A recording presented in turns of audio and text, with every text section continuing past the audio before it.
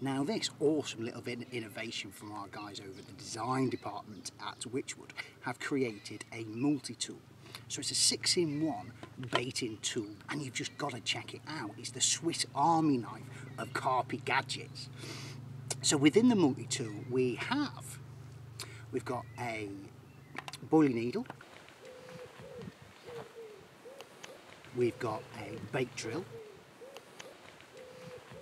and we have a heavy latch and a fine latch. But not only that, on the back we have a little puller tool and we also have a braid stripper as well. So that's six in one.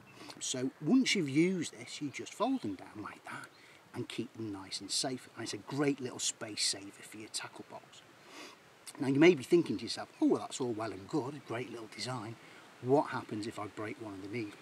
Separately you can get interchangeable heads. So you can buy separately, if you break a drill bit you can buy another drill bit, if you break one of the latches you can buy another one of the latches. Really, really easy to change as well. Now as most of you know with your bite alarms nowadays everyone should have a bit of, some sort of screwdriver with them to obviously change the batteries. So what you can do is just unscrew it like that, take one of the heads out put it back in. Or if you are an angler who doesn't really use like a heavy latch needle or a fine latch needle, um, you'd rather have two drills or two baiting needles, you can swap and change um, however you see fit for your angling. So these are in retailers now, check them out. I'm sure you will find a great little usage for such a great little multi-tool.